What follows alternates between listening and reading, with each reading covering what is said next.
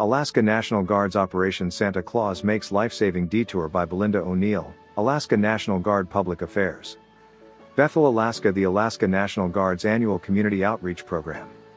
Operation Santa Claus took an unexpected turn this year as its mission to bring holiday joy to the village of Tuluksak became a vital lifeline for a resident of the nearby village of Napaskiak. On November 15, the Alaska Army National Guard, UH-60 Black Hawk helicopter supporting Operation Santa Claus, was en route to deliver gifts and holiday cheer to the children of Tuluksak. When an urgent call for assistance came into the Alaska Rescue Coordination Center at Joint Base Elmendorf Richardson. A critically ill patient in Napaskiak required immediate medical evacuation, but adverse weather and icy runway conditions prevented civilian air ambulances from landing there. Napaskiak is 5 miles south of Bethel on the other side of the Kuskokwim River.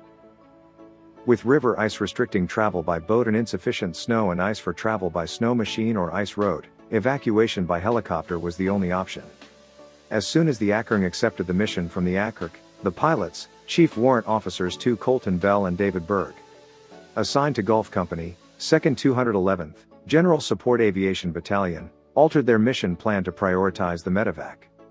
Having just completed one of two scheduled Operation Santa Claus flights to Tuluksak, the aircrew added two LifeMed paramedics and equipment onto the helicopter with the remaining gifts and volunteers already on board and immediately headed to Napaskiak. Bell said Chief Warrant Officer 3 Nick Lime, an aviation maintenance technician and crew chief assigned to Delta Company, 2nd 211th, GSAB, played a crucial role in the team accomplishing both missions within seven hours despite rainy and icy weather conditions. He assisted greatly in the configuration of the aircraft and loading and unloading of patients, medics and passengers, even with the mission changes and difficult weather conditions, said Bell. Our UH-60 liters is able to transport up to 13 passengers with a full assortment of seats.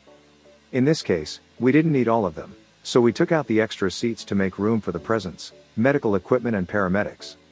Less than five minutes after departing Bethel, the helicopter touched down in Napaskiak, delivering the paramedics and medical equipment to stabilize the patient for travel to the local clinic, a process expected to take 30 to 40 minutes. The aircrew flew 15 minutes to Tuluksak to deliver the remaining volunteers and gifts. They immediately returned to Napaskiak to pick up the paramedics and patient. They flew them to the Army Aviation Operating Facility in Bethel, where the patient was transferred to a LifeMed ambulance.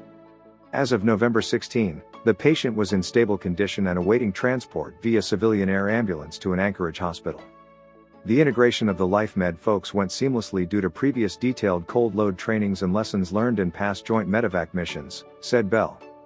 The coordination with LifeMed was extremely smooth since, Chief Warrant Officer 3 Brian Cruz was in the hangar during the mission and coordinated with LifeMed, RCC, and a State Army Aviation Officer while the crew continued executing the Op Santa mission simultaneously.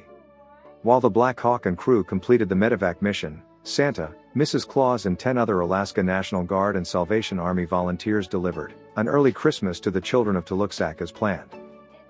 After celebrating with gifts, ice cream and photos with Santa, the team loaded back onto the Black Hawk for the trip back to the AKARNG Aviation Facility where they transferred to an Alaska Air National Guard C-17 Globemaster III for the final leg back to JBER.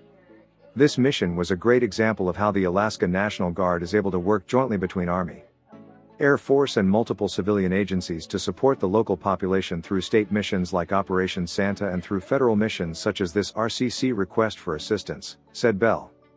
This mission specifically showcases our abilities to adapt to multiple, rapidly changing missions while operating in adverse weather while still completing them efficiently and safely.